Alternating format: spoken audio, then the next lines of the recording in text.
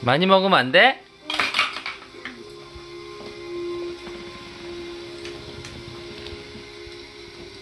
뽀로로 뭐 주사 맞힌 거야? 안 돼. 아, 아니야.